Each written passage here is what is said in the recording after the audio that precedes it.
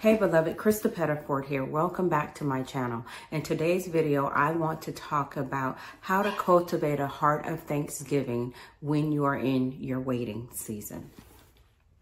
The other morning, I knelt down by my bed to pray, and I had all of these things in my heart uh, that I'm waiting on the Lord for. There's a lot of things that are moving forward as always in life. And then there are things I have been waiting on the Lord for and praying for and believing God for for many years. And sometimes that's the way it is, which puts me in mind of Abraham and Sarah. They had a promise from God, an impossible sized dream. And maybe that's you today. You have a prophetic word, a promise, um, a dream, a vision from God that seems impossible according to your circumstances. Maybe God has spoken to you or you're waiting for him to do something to give you an answer, an instruction, a direction to move in this season or into your next season, but you're waiting on the Lord. And they Abraham and Sarah, they were waiting on the Lord and they had this impossible sized dream. But at some point, after doing everything they knew to do and things that God never called them to, they began to praise the Lord. And when I knelt before the Lord by my bed and I was bringing all these things to him that I've been waiting on him for and things that are going on right now that say, that make me think, how is this going to happen? And that's the definition of worry. God, how are you going to work this out, right? Asking him how, how, how, how, how. And sometimes our hearts need to cry out to God so he can reset them in worship. And, and he does that by thanksgiving. And so when I knelt, he said, just rest before me. Sometimes we come to God in prayer and we want to list out everything that we are believing him for or our worries. And that's good because God calls us to cry out. But then there are times when he tells us to just be still and give him thanks. And so I want to talk to you from Psalm 37, the scripture he gave me to give to you, beloved. Psalm 37 says, Do not fret because of evildoers, nor be envious because of the workers of iniquity. Lord, bless your word. For they shall soon be cut down like the grass and wither like a green herb. But verse 3 says, Trust in the Lord and do good. Dwell in the land and feed on his faithfulness. Delight yourself also in the Lord, and he shall give you the desires of your heart.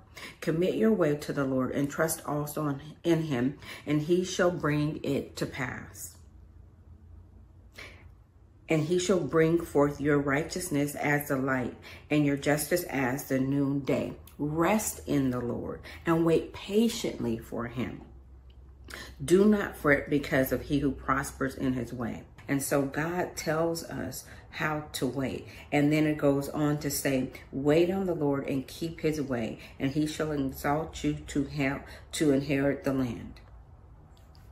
And I just love this. I just love this because it says that mark the blameless man and observe the right, the upright, for the future of that man is peace.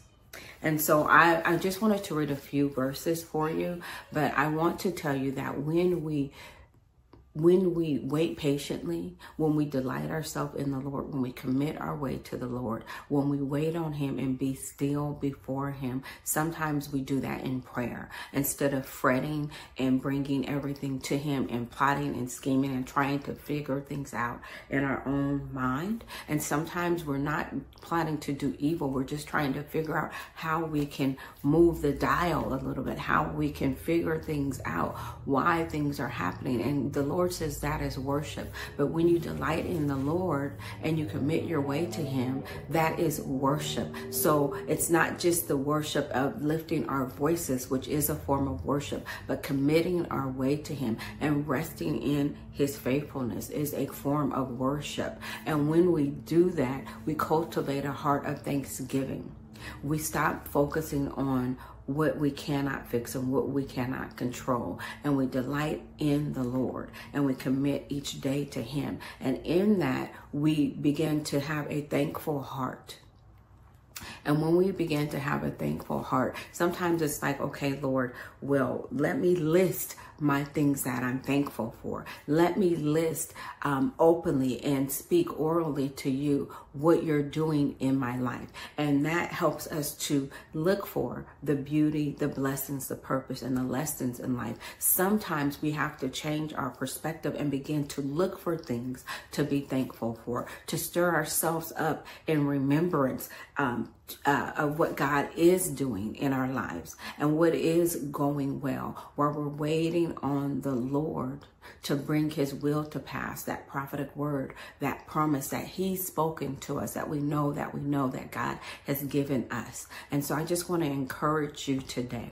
If you're in a season of waiting, I want to encourage you to Cultivate a heart of thanksgiving by delighting in the Lord, committing your way to Him, waiting on Him with a heart of stillness and thanksgiving, not fretting or looking at those who are doing evil, but knowing that if you have committed your way to the Lord, He will give you the desires of your heart. He will bring His will to pass in your life.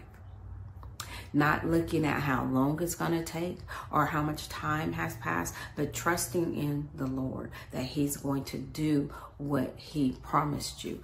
And in also, I would like to say that um, enjoying the season that you're in.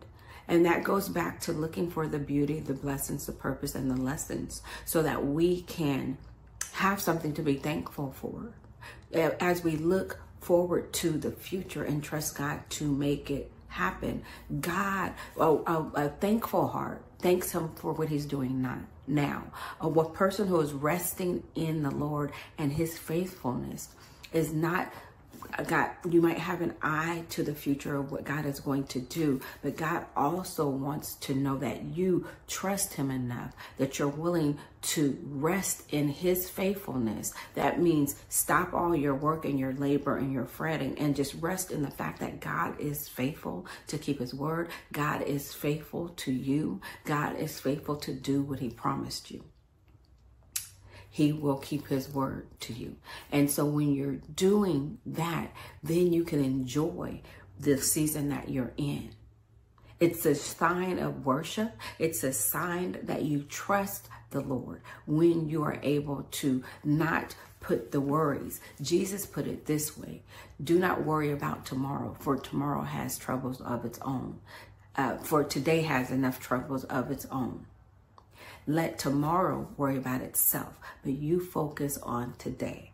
That is my translation. Today has enough things that you have to focus on today, that you would not give your attention to how tomorrow is going to work out, but rest in the Lord's faithfulness and know that if He cares about the lilies of the valleys, that He's going to meet you there. Not only is He going to provide for you, but He's going to prosper you, that He's going to bring His purposes to plan, uh, purposes and plans to pass in your life. That you would be thankful, that you would look for things to be thankful for, that you would give thanks um, when it seems like there's nothing to be thankful for, that you would find, that you would find things like a treasure hunt to thank God for, to lift your hands and delight in Him, delight in the Lord, delight in His faithfulness. And watch it change your atmosphere. And um, Watch it change the way that you wait. Instead of waiting and worry and fretting, you will find yourself in a place of rest and worship. And so, as I was saying at the beginning of this, the Lord reminded me when I hit the floor to just worship Him, not to fret, but just to rest in Him, just to rest in Him. And the minute that I laid my burdens before Him,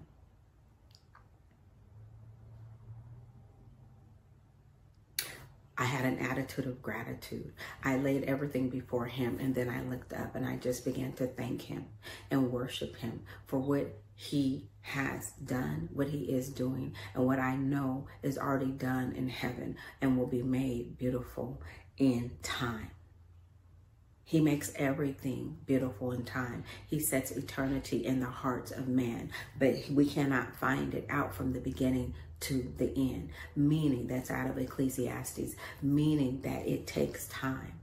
God never tells us. He gives, well, God almost never shows us everything all at once. He shows us the end from the beginning, but he doesn't show us the different seasons and stages and steps that we're going to have to take to get there. No, we have to follow him. We have to let him guide us and lead us season by season until we get to the place that he has called us to. And then there will still be a crossing over because we're always following Jesus forward. And so I just want to encourage you to trust the Lord, to feed on his faithfulness, delight yourself in him, and to um, cultivate thankfulness for everything as you wait on him and trust him to work out his plan in your life. God bless you. Until next time.